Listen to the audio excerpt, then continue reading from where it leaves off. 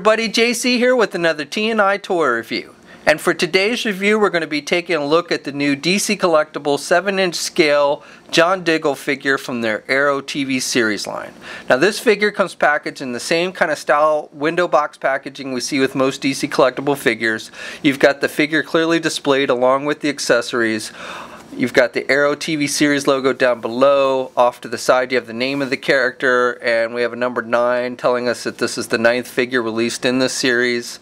Off to the side we have an image of the character from the TV show and then on the back we have a look at all three figures in this wave. So we've got John Diggle which was released today and then Felicity Smoak which is figure number 8 and Arsenal which is figure number 7. Those two figures have not actually yet been released. I don't have an exact release date but probably within the next few weeks. And then down below it tells us the figure was sculpted by Eric Sosa. Okay, so let's get this open and take a look at what's inside. Okay, so here's a look at the figure outside of the packaging. Now, I think DC Collectibles has done a pretty nice job with capturing the overall look of the actor with this figure.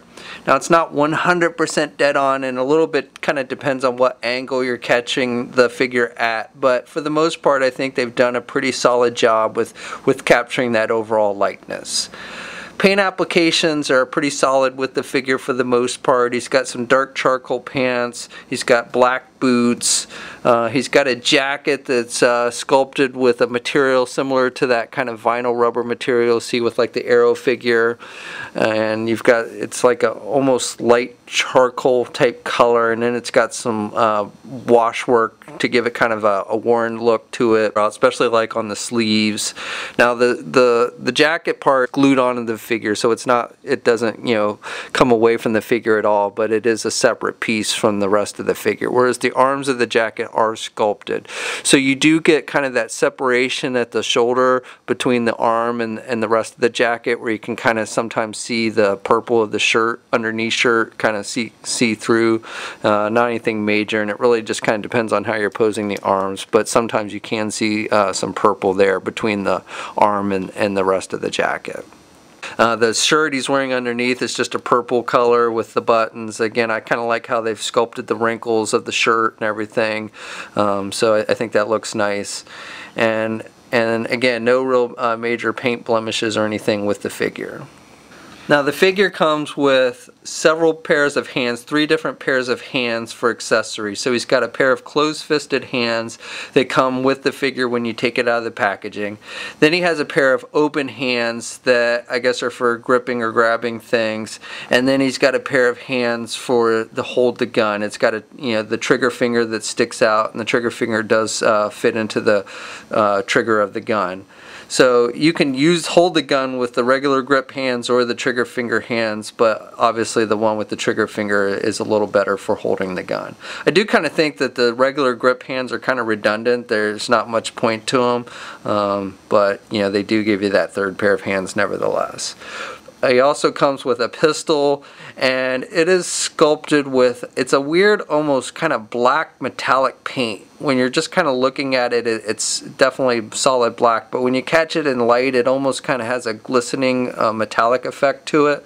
So it's kind of a weird paint. Um, sculpting on the pistol is, is, you know, pretty decent, and he can hold the gun, you know, he's got the hand so he can hold it in his left or his right hand.